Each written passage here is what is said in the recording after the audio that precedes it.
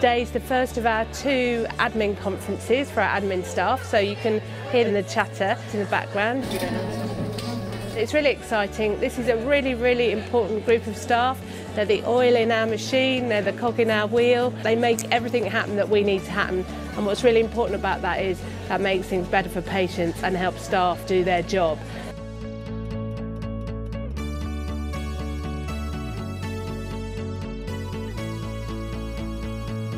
I'm Liz Ferrari and I am the Business Administration Coordinator for the Devon Memory Service who are based in Exeter, Torbay and North Devon.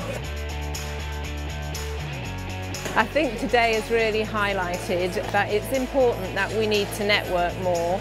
We come to work, we sit in our offices, we don't um, step out of the office to talk to one another. You know, we come in, we start work and that's it for the day. And I remotely manage staff in Torbay and North Devon. So we've all come today and it's given us the real opportunity to sit and, um, and embrace our learning really.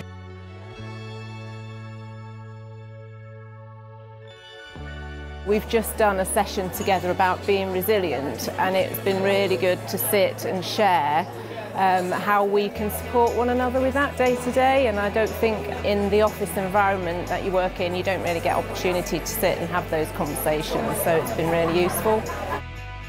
They're often the people who get the first call, they're often the people who sort problems out for us.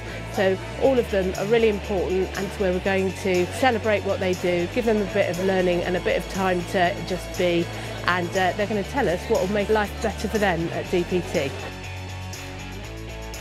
I think it's important for people to take with them the thanks and the understanding that people genuinely do respect their admin, they do appreciate their admin, um, and the Trust is really keen to promote that.